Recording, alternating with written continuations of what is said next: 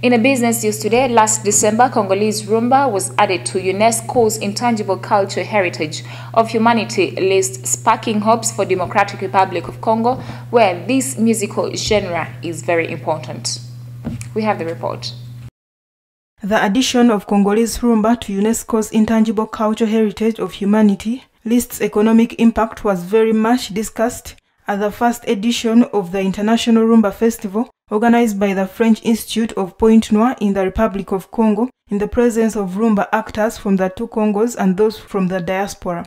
Sylvie Bayon, managing director of the French Institute in Pointe Noire, said that a country that develops its culture is destined to develop tourism, attract curiosity, and therefore develop an economy. She added that giving them the infrastructure and the necessary spaces to be able to showcase their talents can only bring economic added value to their countries at some point.